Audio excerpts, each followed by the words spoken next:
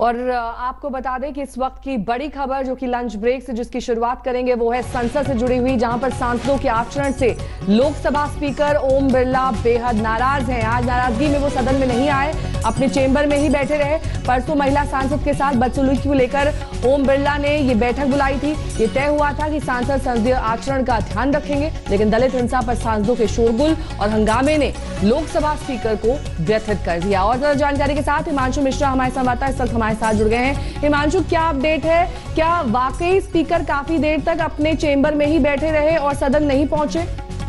देखिए, बिल्कुल मैं आपको बता दूँ कि स्पीकर बहुत व्यथित है। कल जिस तरीके से हाउस में हुआ, क्योंकि कल सुबह ये तय किया गया था कि कोई भी सांसद जो है, वो वेल के अंदर प्ले कार्ड लेके नहीं आएगा और दूसरी बेंचों की तरफ़ नहीं जाएगा। ट्रेजरी बेंच के सांसद जो है, वो अपोजिशन की तरफ़ नहीं जाएँगे। अपोजिशन के सांसद ट्रेजरी बेंच की तरफ़ नहीं जाएँगे। ये तय किया गया था।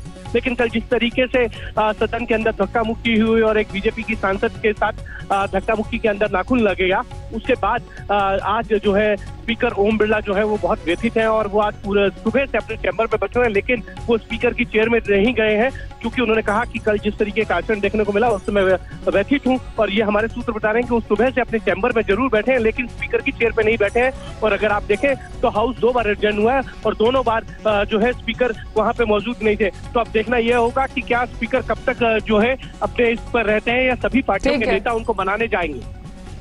जी। बहुत बहुत शुक्रिया इस तमाम जानकारी के लिए, अंशु, आपका। तो कल हुई बदसलूकी मामले में आज ओम बिरला काफ़ी व्यथित दिखाई दिए और अपने चेंबर में ही बैठे रहे। नमस्कार, मैं हूँ अंजना ओम कश्यप हमें उम्मीद है ये वीडियो आपको पसंद आया होगा। लेटेस्ट खबरों के लिए यूँ ही देखते रहिए आज तक और इस वीडियो के पसंद आने पर लाइक, शेयर एंड सब्सक्राइब करना ना भूलें।